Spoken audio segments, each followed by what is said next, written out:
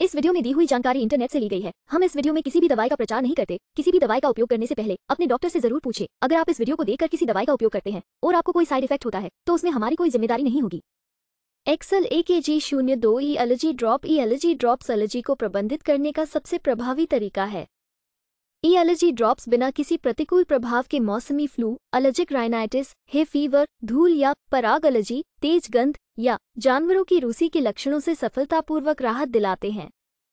इसका उपयोग खाद्य एलर्जी जैसे दूध और डेयरी उत्पादों कॉफ़ी चॉकलेट प्रोटीन और अन्य खाद्य पदार्थों के इलाज के लिए भी किया जा सकता है।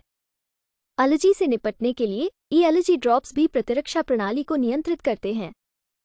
चलिए जानते हैं इसके कुछ फायदों के बारे में। एक छींकने नाक बहने की स्थिति में आराम की सुविधा देता है।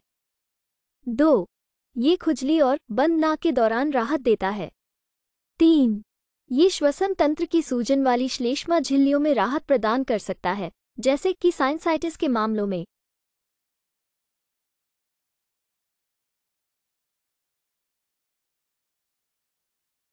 वीडियो को पूरा देखने के लिए धन्यवाद। अगर आपको वीडियो अच्छी लगी हो तो वीडियो को ज़रूर लाइक करें। साथ ही हमारे चैनल को सब्सक्राइब करके, नोटिफिकेशन बेल को और नोटिफिकेशन पर सेट करें।